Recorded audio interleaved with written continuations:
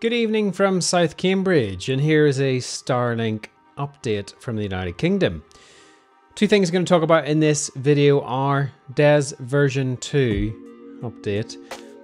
I'm also going to touch on the new firmware and stability improvements, along with a message from Mr. Musk himself.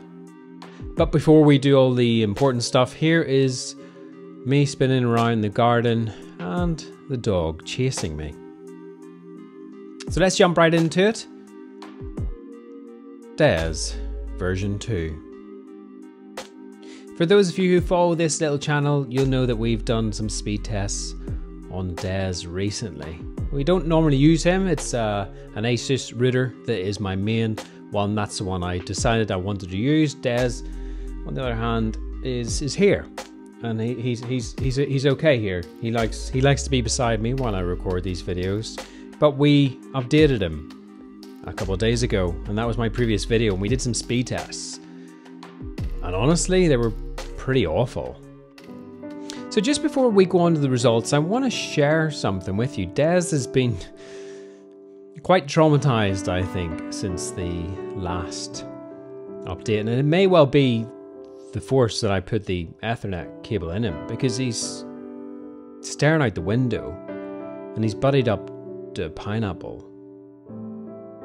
And he sits there, and I wonder is he looking out into space or is he quite simply looking at his own reflection?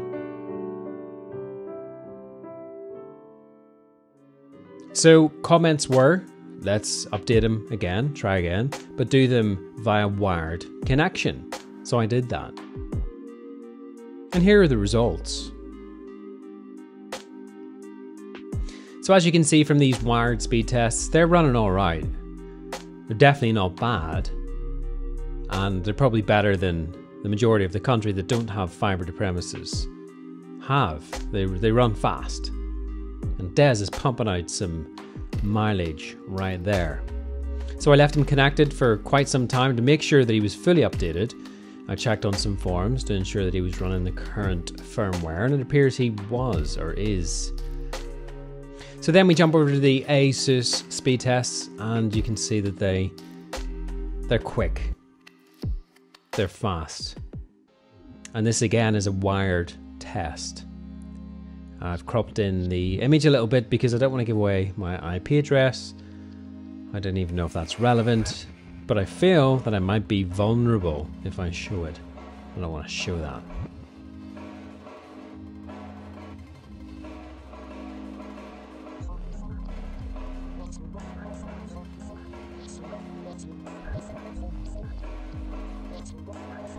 So as you can see, things, if I run these side by side, these are the speed tests, and there's a clear winner here. Um, it's the Asus. So I feel Dez is now part of the family decor type thing. He's he exists and he exists as a companion.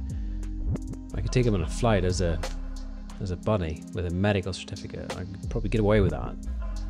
Yeah, enjoy that.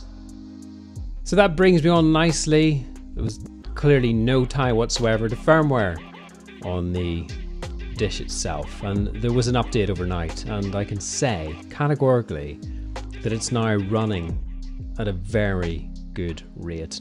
Now, it's not running as fast as it was. I remember that time we had that 400 megabits a second, but it's stable and it's solid and it feels good. There's something about it that's different.